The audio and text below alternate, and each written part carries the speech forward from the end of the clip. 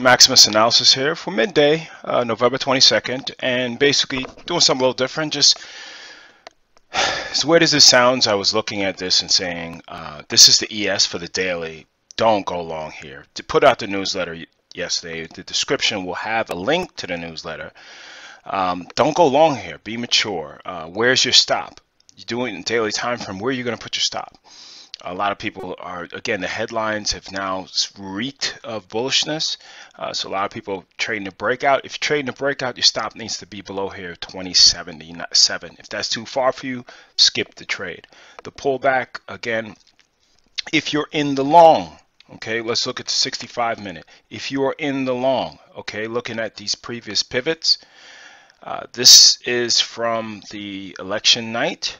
Rip up and it's just been I mean, not sideways, it's been going up. So, but just looking at basically, you know, these previous highs, uh, or excuse me, these previous lows, you're going to have to tighten your stop up, okay? I suggest, again, I've been saying on Twitter all day, tighten your stops, mature, good uh, trading is all only thing that's needed to be done. Again, the 2075 area, 2050 area, 2150 area, excuse me, uh, could be potential pullback area. Again, they could go for highs, and it still wouldn't matter. You have to be careful of not wanting to miss the trade.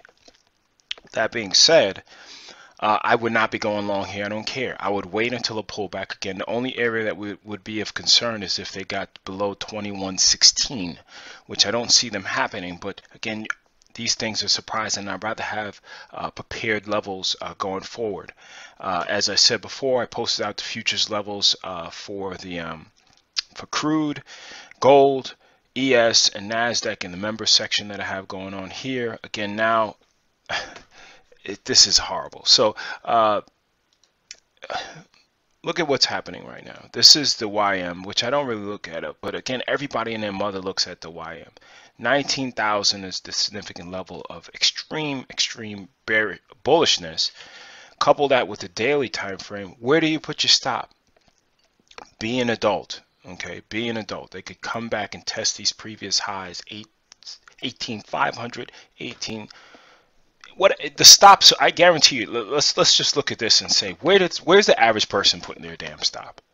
Average person's putting their stop right below here, and that is when I say it is so easy to just pull it back, again, there's probably a, a vacuum underneath this area to say it just if it gets here, it'll quickly go to these previous lows because there's going to be so many stops that it's going to accelerate the down move. Long, I'm not getting long here. Again, I posted two weeks ago before the election, November 7th newsletter. I will post that as well. So you see that I'm not BSing you uh, in regards to uh, you know what you need to do prior to the election and managing risk and treating this as a as a not as a as Vegas money, but you looking at it more as a, a responsible business owner. And again, going into that event and now trimming profit into strength, which is the best feeling versus everybody else getting long and they're putting their stop right below here. Captain obvious levels. Okay. So again, this is what we have going on on daily. Um, again, my upward target is 2120, um, which it is a sneeze away from, but I'm not getting long here. This is not a good setup to me. Okay, so again, we'll see how it goes. I will link it. I will in the description. You'll see the newsletters.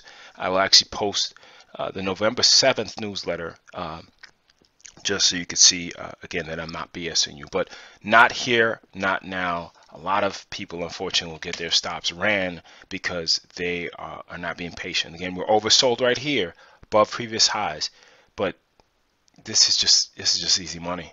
It's just easy money and you got to be an adult and now people are taking heat because they took it at 2200 don't let the breakout traders get you caught up because it's not a good good good uh, way of trading. Again if you want to get some trading education go to maximusanalysis.com.